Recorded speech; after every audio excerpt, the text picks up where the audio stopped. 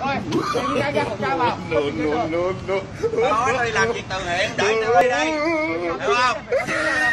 Tao không có giấy tờ, tao làm bằng cái tâm của tao, hiểu không? Tao làm từ trong tâm tao, mày nghe không? Ai hút thì mà. đâu là kẻ của em em nói vậy anh đi làm thiện với em luôn đi anh sợ anh sợ bị khu quy anh không dám đi còn bản thân em không sợ chết em lên những chỗ trẻ mồ côi giác nghĩa em cho đồ cho quà Đúng ta rồi, làm cái em tình tiết mà nó nó hầm mà giết hết á giết cả nhà. Em làm có đâu sai. Em sống với đâu là kẻ em. Em nói vậy anh đi làm thiện với em luôn đi. Anh sợ anh sợ bị khu quy anh không dám đi. Còn bản thân em không sợ chết. Em lên những chỗ trẻ mồ côi giác nghĩa. Em cho đồ cho quà Đúng ta rồi, làm cái em tình tiết mà nó nó hầm mà giết hết á giết cả nhà. Em làm có đâu sai.